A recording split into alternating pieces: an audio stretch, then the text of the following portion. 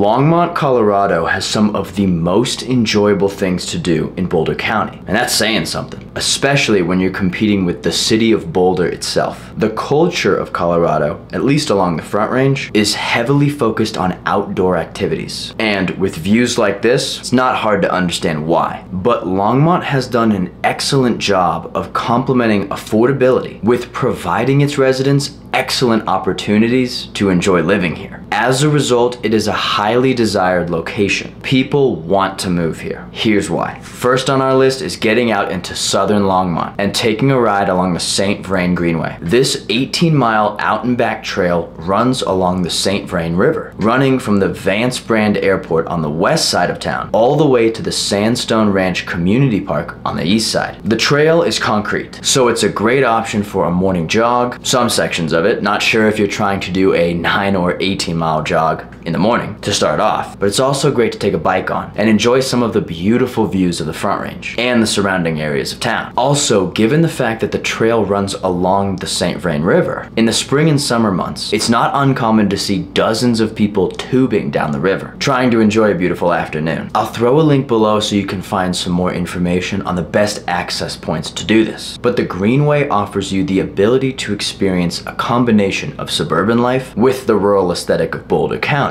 Really, it's reflective of the entire atmosphere of Longmont. You're not cramped up in a suburb where there's just pockets of nature here and there, like you would be in a town much closer to Denver. But instead, just step outside and you're within a few minutes distance of an amazing trail that can make for a terrific workout, or even just a scenic stroll. So let's take a break from our ride along the St. Vrain Greenway and head over to the Boulder County Fairgrounds and visit the Longmont Farmers Market. The Greenway actually cuts just north of it, so you can easily access the fairgrounds from here. From the beginning of April through November, the Longmont Farmers Market takes place every Saturday from 8 a.m. to 1 p.m. and is a fantastic location for a nice, relaxing morning for yourself or your family. There are several dozen local vendors and shops that come together to form a massive market, offering a wide range of products. Of course, local farmers sell organic produce, nearby ranchers come and sell their meats, artisans come occasionally to sell their handcrafted designs and products, and then there's shops for coffee, pastries, honey, chocolate, you name it. Plus, there's always live music played in the center of the market. So it's a terrific spot to take your family, especially if you have kids who can enjoy the entertainment and some kid-friendly activities there as well. The Longmont Farmers Market is a fantastic place to go to start your weekend, especially during the spring and summer months when the temperatures are perfect. It might be a favorite spot for you. Okay, so shopping aside, let's get back to the outdoors. But this one is especially important once summer hits and it gets hot. Let's explore the Union Reservoir and McIntosh Lake, two lakes located on either side of Longmont, both offering a ton of opportunities to enjoy the water. A nice addition to the Boulder Reservoir down closer to the city to enjoy a Saturday or Sunday, or any day really, as long as the sun is shining. And in this part of Colorado, that's practically every day. Starting with the Union Reservoir, this natural lake can be a terrific spot to enjoy a nice afternoon on the beach, or if you're a fan of paddleboarding, windsurfing, or kayaking, you can embark on a few laps around the entire lake. It may take you a little bit though, the lake is big. Now the reservoir is only about three miles from downtown Longmont, so it's close to the town, but when you're there, it feels like you're hidden off in the country. But now let's head over to McIntosh Lake. This is another lake located on the western side of town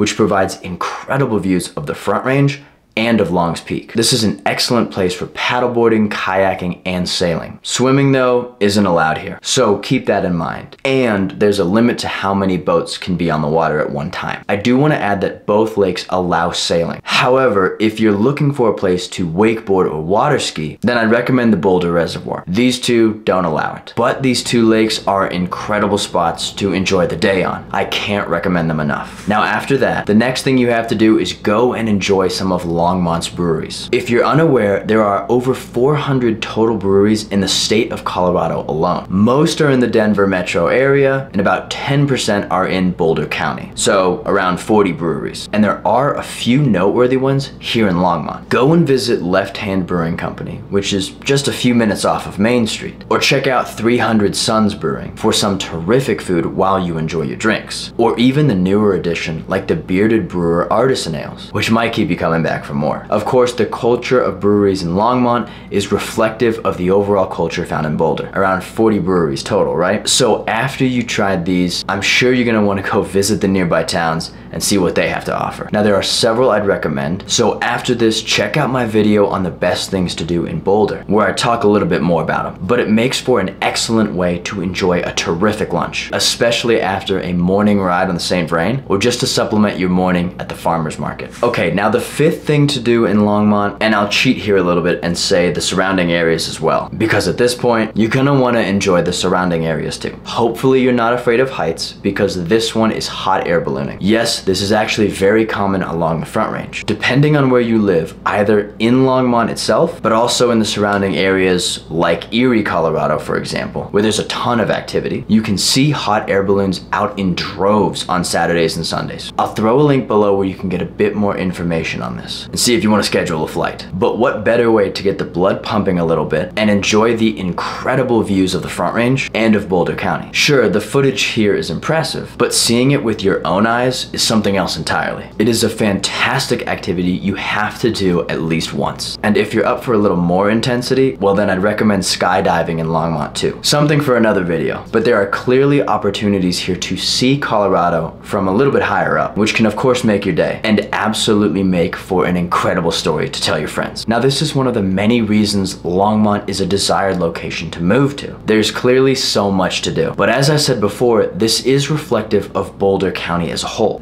As a result, there's way more things to do in the surrounding areas when you group them all together. So if you live in Longmont, you get all these benefits too. If you want to know about more things you can do in the area, check out my video on some of the best things to do in Boulder. And I guarantee you'll love every single one. This is Life in the Front Range. I'll see you there.